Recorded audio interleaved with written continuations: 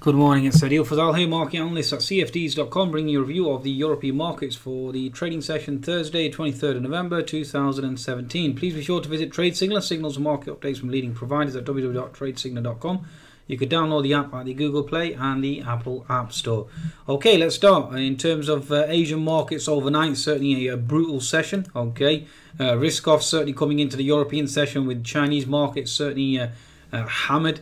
The uh, Shanghai down 2.3%, the Hang Seng down almost a, a, percentage point on the back of obviously talk of uh, a curb in lending. So again, certainly uh, having that impact. So again, Asian markets open up negative, have start, started to move higher on the back of news with regards to Schulz potentially resigning. And there's been some sort of agreement there with regards to Germany, certainly triggering a short squeeze. Also helped uh, to a large extent by the uh, stronger economic data as well. Europe, uh, French, German manufacturing. Um, PMIs basically coming in stronger than expected. Uh, we have got European PMIs as well, certainly coming in stronger than expected. UK GDP numbers uh, this morning at 1.5%, although uh, total business investment dropped to 0.2%, uh, and uh, certainly index services coming in more or less in line. Uh, we do have the ECB monetary meeting account, so again, watch out for the potential move in the euro. And then we've got Mr. Coeuré speaking as well. We've got well Kiwi export imports if you are trading the Kiwi. And that really is it. Obviously, US Thanksgiving Day today certainly closed. Uh, US markets are closed half day tomorrow, so light volume certainly will be on the light side. Okay, now let's uh, see how the markets are performing. Again, uh, Chinese markets flushed overnight, so again, that's a risk-off scenario, so bear that in mind. Let's start off with the German DAX. German, German DAX certainly bouncing that key support zone at 12,900. Moving over to the 60-minute chart now. As you can see here, finding support at that 12,930 zone on the German DAX. Now again with news breaking just now, uh, well certainly this morning it certainly seems to be brewing and obviously stronger PMI data. Uh, European market certainly shrugging of that weaker news. So bear that in mind. We've closed the gap already at 13020. Uh, again, let's see how far we go. We've got 200 MA at 13080 and then we've got uh, obviously the uh, support uh, resistance at 13102. So we'll keep an eye on that.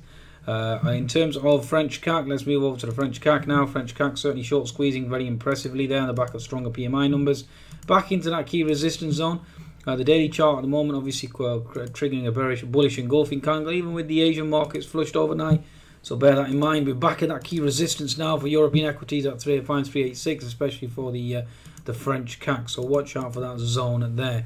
Certainly coming into resistance at this juncture. Okay. So again, Asian markets down will certainly be risk negative. Okay, go especially given the fact that US markets certainly are closed. Looking for US markets certainly to gap and move lower as well.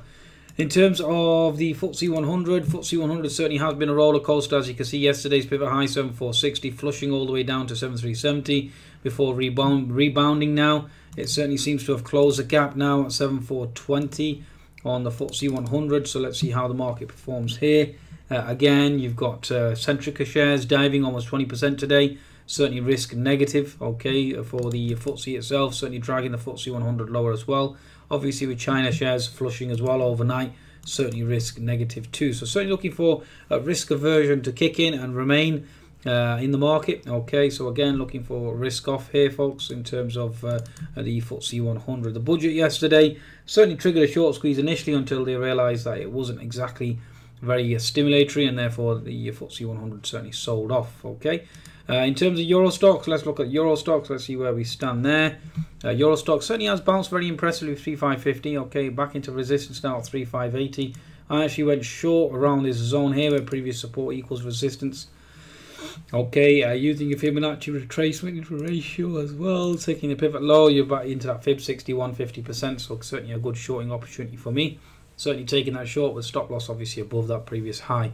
So again, looking for risk aversion to kick in and remain here, especially with Chinese equities down overnight. Okay, so I think that's a good summation really of European equities. Again, watch out for the DAX. Certainly uh, a short squeeze has, squeeze has been triggered on the back of that news and obviously stronger PMIs, but will last with Chinese equities hammered overnight. Okay, so bear that in mind, especially with US equities into resistance as well.